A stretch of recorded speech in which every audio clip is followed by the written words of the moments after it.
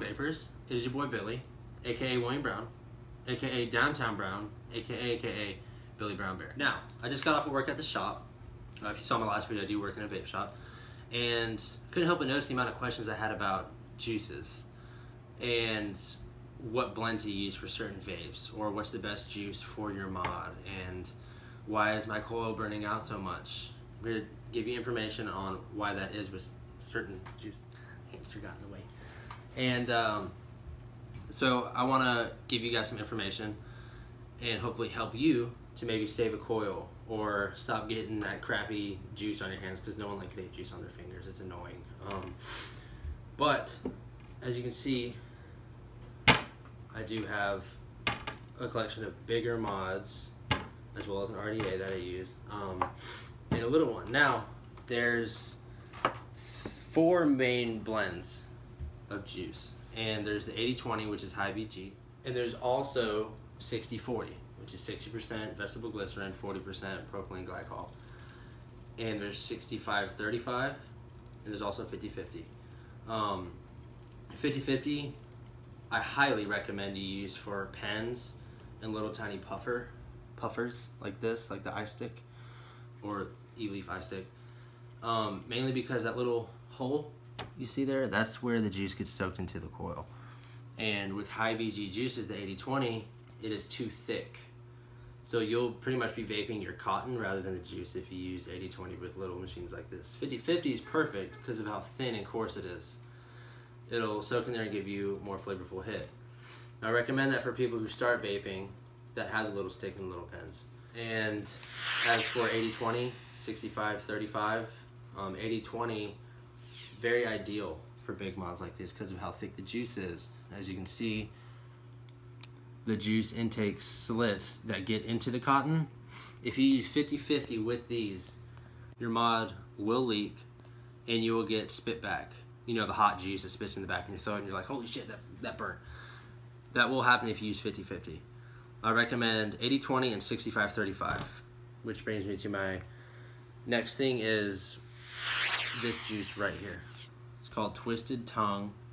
Probably the best juice I've ever had the liberty to try. It is 65 35 blend. They're handmade, and I do not kid, they are the best juices I've ever had. The best line of juice I've I've ever tried. And this particular one right here, blue raspberry lemonade and the pina colada. Spot on. This tastes like you're drinking pina colada and this tastes like you're drinking blue raspberry lemonade. And there's so many more flavors as you can see that are amazing. They're phenomenal.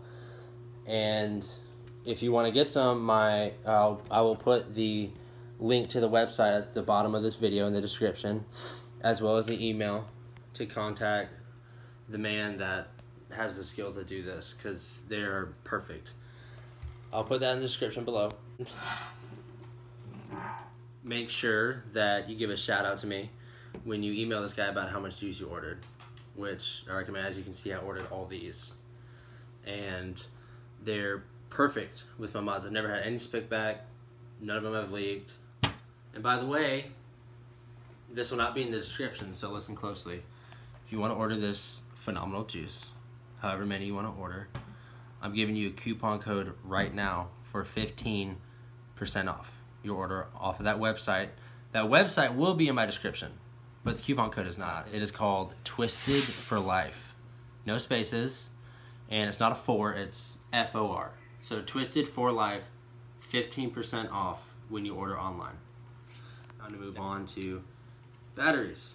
Endless questions on what battery is better, what's the best brand of battery, what's a milliamp, what does that do? Uh, milliamp is I guess it's hard to explain the life of the battery. And you see my pretty little snow wolf, thanks to milliamps, it's able to light up like a little rainbow, like Roy G. Biv. Now, um, you can see I am using Samsung 25Rs, as you can see. Uh, high quality battery, very good. Um, I also use eFest 3500 milliamps, and I also use MXJOs, which are 3000 milliamps. Now the milliamps, the higher the milliamp, the higher battery life you will have. I do recommend a bigger mod that holds two batteries. Um, and the higher milliamp, like I said, the higher battery life you have because you don't want to be having to charge it all the time. And this little port for a Samsung charger that's good, but that can kill your batteries. So I do recommend a four bay battery charger. So I'm gonna bring the camera up to here real quick. I recommend these a lot, and as you can see, my batteries are currently charging. It gives you the voltage at which your batteries are at right now. And this right here, 0.5 amps, this has a different setting for what you want to charge your batteries on. Now I want to run through this really quick. Um, that the 5 milliamp or the 0.5 amp charge, there's a 0.5, there's a 1.0, and there's a 0.2. Now, 0.5 is the best. That is the best. It'll give you the most life. Um, one is acceptable. It'll be faster, not really detrimental to, to your battery. Now, two milliamp or two amps, I recommend do not use because that will kill your battery. Because what it does is the charge is too strong for the battery, and once your battery is fully charged, it'll break down the cell wall of your battery, and you might you might get four weeks out of your batteries. Now, if you use 5.5 amps, after you charge your battery from it being completely dead, as you can see I'm doing right here, you'll get probably a day and a half, two days out of this set of batteries, no matter how much you use it. I keep my mod on all day, and as you can see that little green bar, it is fully charged. Now, I, starting vaping, I didn't know anything about that. And eventually I learned, my battery started pooping out on me, and it was, it was awful. I wasted so much money on batteries. I do not want you guys to do that. And I wanted to keep, I was gonna throw these out, but I wanna keep these for video purposes. This casing, if you ever see that casing, throw this away. Because you, I'm sure some of you have heard of vapes blowing up in people's faces and their mouths and them losing teeth and shit. Um, yeah, if you ever see this, throw this away. Because it's just not good news. Just keep your teeth. Do me a favor, do yourself a favor, and keep your teeth. I don't want to be responsible for that. And the casing is very important to the battery. It keeps it from heating up. If your batteries ever get super hot, you're like, holy fuck, I can't hold it it's probably because your casing might be a little bit tattered or unless you're using an RDA you're not regulating the power compared to the amount of power your your batteries are putting out. Um, so if you're using an RDA or if you're using a just a regular mod a regulated mod with a regular tank keep it at 4 volts don't go above 4 volts because that's when your batteries start heating up and I'm sure some of you have burned your hand on your mod. Keep it at 4 volts.